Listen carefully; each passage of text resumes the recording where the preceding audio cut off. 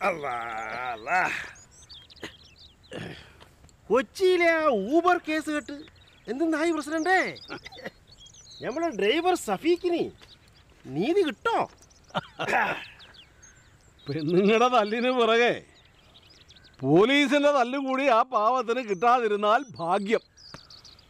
ആ കേസ് അങ്ങനെയാ പോകുന്നത് അതെന്താണ് അങ്ങനെ? ഈ കേസിൽ വിശദമായ വാദം കേൾക്കുന്നത് വരെ ഷഫീഖിനെ അറസ്റ്റ് ചെയ്യരുതെന്ന് കോടതി പറഞ്ഞതോടെ പോലീസ് തീർന്നില്ലടാ. അപ്പോൾ അതിന് കാരണക്കാരായവനെ അവർ വെറുതെ വിടുവോ? കോടതി മാത്രമല്ല സഖാവേ. പോലീസും ഇപ്പൊ പോലീസിനെതിരെ തിരിഞ്ഞിട്ടുണ്ട്. ഈ കേസിൽ പോലീസിന് എന്തെങ്കിലും വീഴ്ച പറ്റിയിട്ടുണ്ടെങ്കിൽ അത് പരിശോധിക്കണമെന്ന് ഐ ജി നിർദ്ദേശിച്ചില്ലേ? എന്റെ അല്ല. അങ്ങനെയാണെങ്കിൽ കെയർഫുൾ ആവണം. സഫീഖിന് ചാമ്പ് ഉറപ്പാ. ഈ പോലീസ് എണ്ണന്മാർ എന്തിനാണ് ഈ കാണിക്കണേ? ഷെബീഖണ്ണം പെണ്ണുങ്ങളെ അല്ലല്ലോ.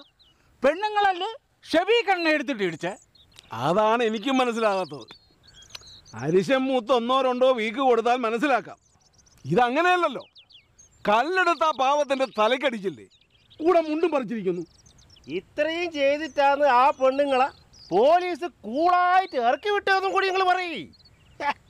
ഇത് നമ്മളെ ലീഡർ പോലീസിനേക്കാളും കഷ്ടമായി പോയല്ലപ്പാ അക്രമകാരികളായ സ്ത്രീകൾക്കെതിരെ വധശ്രമത്തിന് കേസെടുക്കണമെന്ന് പൊതുജനാവശ്യം ഉയർന്നതും അതുകൊണ്ടാണ് ഈ സംഭവം നേരെ തിരിച്ചായിരുന്നെങ്കിലോ?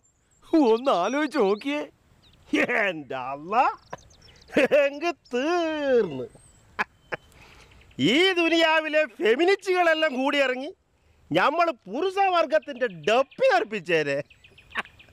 ഇപ്പൊ ഒന്നിനെയും കാണാനില്ലാലാ സകലമാന കാര്യത്തിനും ലിംഗസമത്വം പറയും.